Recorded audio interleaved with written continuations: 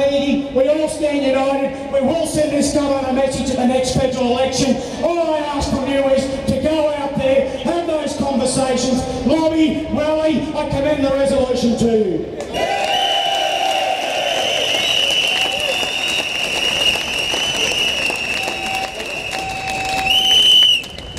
Want a champion, Mark?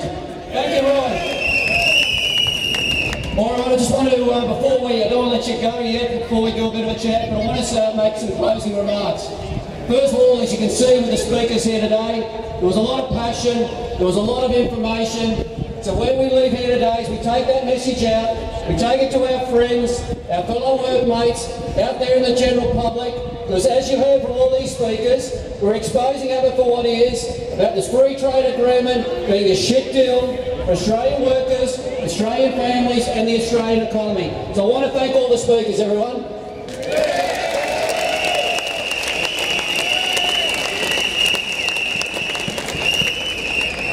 As I said, this rally was organised at a very short notice, and everyone who's attended here today, and I say that with sincerity, you should be very, very proud by the fact that you came here, sent a message to the government, to the Senate committee, and the other leaders here that you're prepared to have the fight, you're prepared to campaign, and you want a better Australia. Is that what we're fighting for?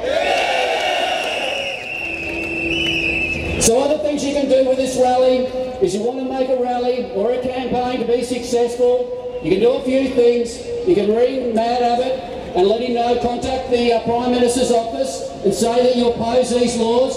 You can speak to your local federal member. You can get involved in the campaign either through the ACTU website or the QCTU all the other unions that are here today. Because as I said, this is a start. There's a whole heap of campaigns around Australia. Even for example, tonight for the CFMEU, we've got our national campaign, if you like a bit of cooking, is we're doing the launch on MasterChef. But a number of other unions that are here today will also be doing national uh, TV ads, every type of way that we can, social media, digital media, is we'll get this message out here. I know we've got good people and we'll keep that fight up. So other than that, on behalf of all the trade union leaders here and all the other community people and other invited guests, thank you very much.